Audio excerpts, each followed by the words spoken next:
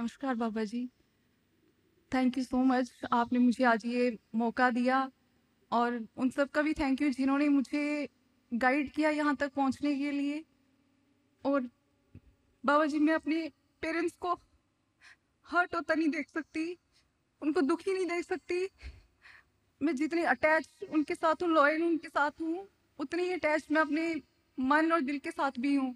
I hope you understand what I am saying मैं इस time totally blank हूँ helpless हूँ। मुझे नहीं पता मेरे साथ क्या हो रहा है, मैं क्या कर रही हूँ। प्लीज़ बाबा जी, मुझे सही दिशा दिखाओ कि मैं क्या करूँ मैं। बेटा देखो, प्यार तो सभी से करना चाहिए बेटा।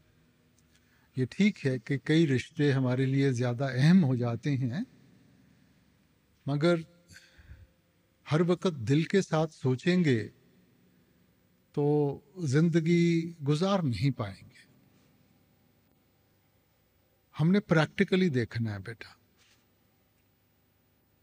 और प्रैक्टिकली में बेटा, जो माँ बाप कहते हैं या जो भी है, भुगतना तो आपको पड़ेगा, मगर माँ बाप दुश्मन तो नहीं है।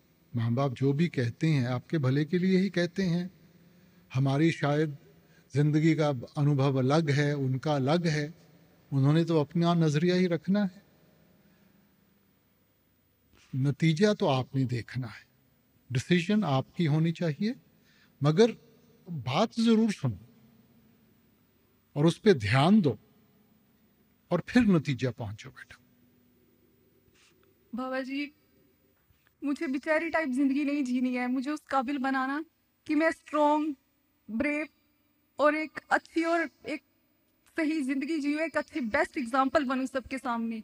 मुझे ये भी ये भी हमारा भरम है। हम सोचते हैं कि जो बोलता है, जो लड़ाई करता है, हम सोचते हैं कि वो बेचारा नहीं है और जो चुप करके अपनी जिम्मेवारी निभा रहा है, वो बेचारा है।